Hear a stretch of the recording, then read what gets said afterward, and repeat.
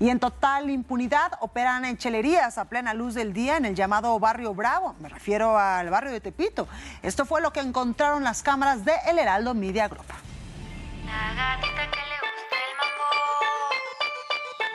Licuachelas, kitichelas, rotochelas o cualquier bebida alcohólica se puede encontrar en la principal avenida de Tepito, Eje 1. En octubre se prohibió la venta de estos productos en los tianguis. No obstante, su comercialización siguió hasta enero de este año cuando fueron retirados. 38 chelerías que se encontraban a lo largo de las banquetas del Eje 1 Norte.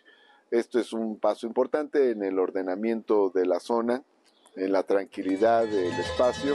Hoy por hoy, la principal avenida del barrio Bravo de la ciudad luce muy diferente. A primera vista pareciera que estos establecimientos de venta ilegal de alcohol se fueron, pero en realidad permanecen ocultos entre la ropa, tenis y las garnachas.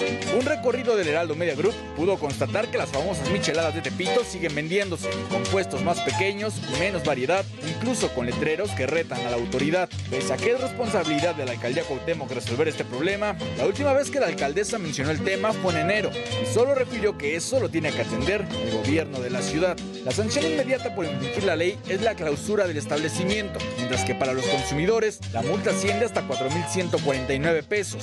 Mientras tanto, siguen operando con total impunidad, poniendo en riesgo a los miles de personas que diariamente visitan las calles de Tepito. Alberto Valiente, Heraldo Media.